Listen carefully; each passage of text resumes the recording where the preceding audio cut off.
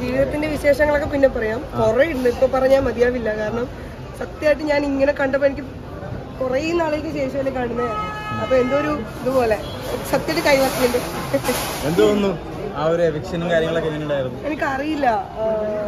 നിങ്ങളെ പോലെ തന്നെയാണ് ഞാനും. അപ്പൊ എന്തായാലും ഒരുപാട് സന്തോഷം. എത്ര നേരം വന്ന് വേസ്റ്റ് ചെയ്തതിന് ആണോ? താങ്ക് യു എനിക്കറിയില്ല. നമുക്ക് ഞാൻ പറഞ്ഞില്ല ഞാനിപ്പോ അതേ വന്നിട്ടേ ഉള്ളൂ. എനിക്കറിയില്ല. ഞാൻ ഇന്നലെ കഴിഞ്ഞു. ഇപ്പൊ ദേ വന്ന് ആൾക്കാരൊക്കെ കാണുന്നതിന്റെ ഞെട്ടലിലാണ്. ആദ്യം ഇങ്ങനെ ഓരോരുത്തരുടെ ശബ്ദം കേൾക്കുമ്പോഴും ക്യാമറേസ് ഒക്കെ കാണുമ്പോഴത്തേക്ക് കുറേ ദിവസത്തിന് ശേഷം കാണുമല്ലേ ആദ്യമായിട്ട് ഫോൺ കൈ കിട്ടിയപ്പോൾ തന്നെ വല്ലാത്തൊരു എക്സ്പീരിയൻസ് ആയിരുന്നു. അപ്പോൾ എന്തായാലും വിശേഷങ്ങളൊക്കെ നമുക്ക് പിന്നെ വിശദമായിട്ട് തന്നെ പറയാം. ഉറപ്പായിട്ട് പറയാം. കുറേ വിശേഷങ്ങളുണ്ട് പറയാൻ. കുറേ കാര്യങ്ങളുണ്ട് സംസാരിക്കാൻ. നിങ്ങളുടെ വിശേഷങ്ങളും എനിക്ക് അറിയണം. കാരണം ഞാൻ ഇങ്ങോട്ട് വന്നതേ ഉള്ളൂ. ഇനി കുറേ കാര്യങ്ങൾ അറിയാണ്ട് അപ്പോൾ നമുക്ക് വിശദമായിട്ട് സംസാരിക്കാം. ബിഗ് ബോസ് എത്രത്തോളം ജീവിതം മാറ്റി മറിച്ചിട്ടുണ്ട് കുറേ ഉണ്ട് വിശേഷം അതല്ല കുറേ പറയാനുണ്ട്. ഇപ്പൊ ഒറ്റയടിക്ക് പറഞ്ഞാൽ ഒരുപാട് പെട്ടെന്ന് ഓർക്കാൻ പറ്റുന്ന കുറെ കാര്യങ്ങൾ ഉണ്ടാവുമല്ലോ ലാലേട്ടനെ കണ്ടതായാലും അയ്യോ അത് അത് അതാണ് നമുക്ക് ഒറ്റ വാക്കിൽ പറയാൻ പറ്റുന്ന കാര്യങ്ങളല്ല. ഒരുപാട് വിശേഷമുണ്ട്. ഏറ്റവും കൂടുതൽ സങ്കടപ്പെട്ടത് നമ്മുടെ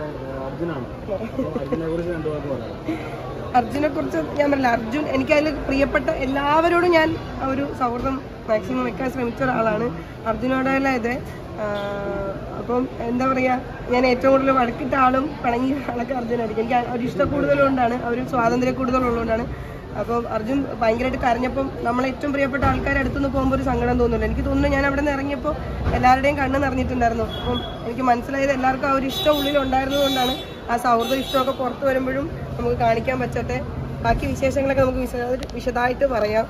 എനിക്ക് ഭയങ്കരമായിട്ട് എക്സൈറ്റഡ് ആണ് ഞാൻ. ആണോ? അതെന്താ അറിയോ? തുടക്കത്തിലും ഉണ്ടായിരുന്നു. പക്ഷെ ആൾ ചുരുങ്ങും ആൾക്കാർ ചുരുങ്ങുന്നതനുസരിച്ച് നിങ്ങൾക്ക് കാണുന്നത് കുറച്ചും കൂടി വിസിബിൾ ആവുന്നേ ഉള്ളൂ. ഞാൻ ആദ്യമേ എല്ലാവരുമായിട്ടും ആ ഒരു ഞാൻ എന്നും എന്റെ ബെഡ്റൂമിൽ തന്നെ ഉറങ്ങിയിട്ടുള്ളൂ. ഞാൻ ബെഡ്റൂമിൽ റൂമിലൊന്നും ഉറങ്ങിയിട്ടില്ല. അല്ല ഒരുമിച്ച് ഒരുമിച്ച് ഒരുമിച്ചുണ്ടായിരുന്നു. നമുക്ക് അങ്ങനെ അവിടെ യുദ്ധത്തിനൊന്നും പോയതല്ലല്ലോ ഞാൻ. എനിക്ക് എല്ലാവരോടും അങ്ങനെ അങ്ങനെ പ്രതീക്ഷിക്കാത്ത രീതിയിലുള്ള ഒരു തോന്നുന്നുണ്ട് ഞാൻ പ്രതീക്ഷിച്ചിട്ടുണ്ടായിരുന്നില്ല. എവിക്ഷൻ എന്ന് പറഞ്ഞ ബോർഡ് എടുത്തപ്പോ പെട്ടെന്ന് ഒരു ഞെട്ടൽ ഞാൻ ഒട്ടും പ്രതീക്ഷിച്ചിട്ടുണ്ടായിരുന്നില്ല. ബാക്കിൽ നിൽക്കുന്ന കണ്ടസ്റ്റന്റ് പോലും അപ്സരയാണ് ഔട്ടായെന്നുള്ളൊരു ചിന്ത വന്നിരുന്നു. അപ്പൊ അതൊരു അതിലെന്തെങ്കിലും നിങ്ങളല്ലേ അതിന് മറുപടി പറയേണ്ടത്? നിങ്ങളൊക്കെ അല്ലേ വോട്ട് ചെയ്യുന്നത്? ഞാൻ അകത്തല്ലായിരുന്നു. എനിക്ക് എന്തറിയാം അതെ. ബാക്കി എനിക്ക് ബാക്കി വീട്ടുകാരോട് ഞാൻ സംസാരിച്ചിട്ടുണ്ട് അമ്മയൊക്കെ നോക്കി ഇനിയിപ്പോ എന്തോ?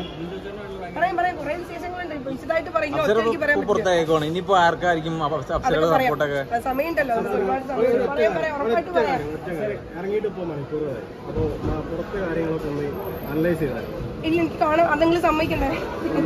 ചെറിയ ചെറിയ വിവാദങ്ങളും കാര്യങ്ങളൊക്കെ ഒന്ന് ഒന്നിനെ കുറിച്ച് ഒരു പിടിയില്ല. അതേ ഫോണ് കിട്ടി. ഇന്നലെ രാത്രി എനിക്ക് കിട്ടുന്നത് ഫോണ് കിട്ടുമ്പോൾ തൊട്ട് ആദ്യമായിട്ട് ഫോൺ വാങ്ങുമ്പോൾ നമുക്കൊരു പുതിയ ഫോൺ വാങ്ങുമ്പോഴേ നമുക്ക് ഉണ്ടാവുന്ന ഒരു എക്സൈറ്റ്മെന്റും കാര്യങ്ങളൊക്കെ ഇല്ല. അതുപോലെയായിരുന്നു. ഇനി ഇത് ഓപ്പൺ ചെയ്ത് നോക്കണേ ഉള്ളൂ. എല്ലാത്തിനും നമുക്ക് മറുപടി പറയാം. എല്ലാത്തിനും എല്ലാത്തിനും പ്രതിനിധികളുണ്ട്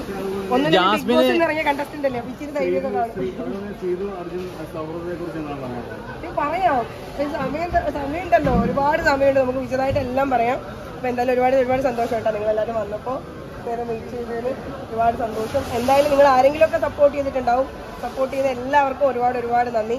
അല്ലാത്തവരോട് എനിക്ക് പരിഭവമൊന്നുമില്ല. എന്തായാലും ഭർത്താവിന്റെ ഭർത്താവിന്റെ പിന്തുണ ഒരുപാട് ബിഗ് ബോസിൽ കണ്ടിരുന്നു. എങ്ങനെയായിരുന്നു? എന്നെ സഹിക്കാൻ തുടങ്ങിയിട്ട് രണ്ടര വർഷമായില്ലേ അപ്പൊ എന്തായാലും പിന്തുണച്ചല്ലേ പറ്റൂ. അല്ല എന്റെ ഫാമിലി മൊത്തം എനിക്കറിയാം ഞാൻ അവിടെ ഉറങ്ങാതിരുന്ന അല്ലെങ്കിൽ ഞാൻ അവിടെ എത്രത്തോളം കഷ്ടപ്പെട്ടിട്ടുണ്ടോ അതിന്റെ ഇരട്ടി ഇരട്ടി എന്റെ ഫാമിലി കഷ്ടപ്പെട്ടിട്ടുണ്ടെന്ന് എനിക്ക് നല്ല ബോധ്യമുണ്ട്. അത് എന്ത് തന്നെയായാലും എനിക്കതിൽ സന്തോഷം മാത്രമേ ഉള്ളൂ. ഒരുപാട് ഒരുപാട് സന്തോഷം.